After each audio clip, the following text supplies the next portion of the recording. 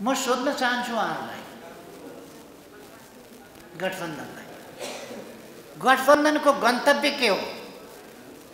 गठबन्धनको गन्तव्य मात्रै होइन गठबन्धनभित्रका हरेक घटक नेपाली कङ्ग्रेसलाई म सोध्न चाहन्छु माओवादी केन्द्रलाई सोध्न चाहन्छु अरू को को छन् तिनीहरूलाई सोध्न चाहन्छु उनीहरूको गन्तव्य के हो?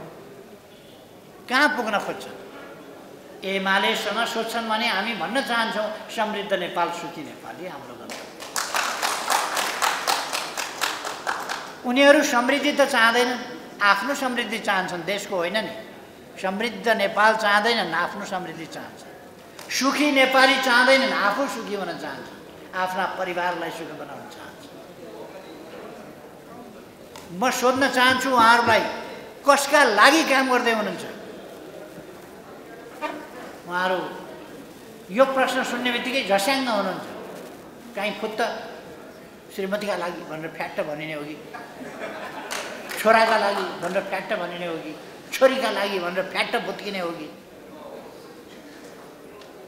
केका लागि? बुहारीका लागि भनेर फुत्किने हो कि? अरू फुत्किने हो कि? उहाँहरूलाई डर हुन्छ।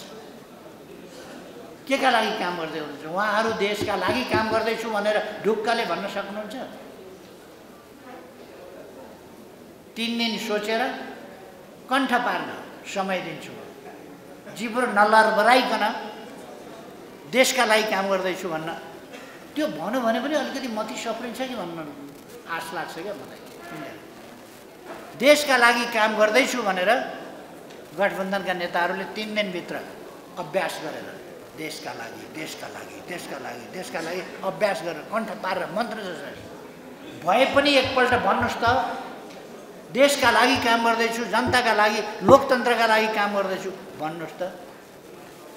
तर विचार गर्नुहोस् है तपाईँले देशका लागि काम गर्दैछु भन्दा जसका लागि काम गर्दैछु भन्नु काम गरिरहनु भएको छ उसले पनि सुन्छ र रिसाउला। त्यो ख्याल। देशका लागि काम गर्छु।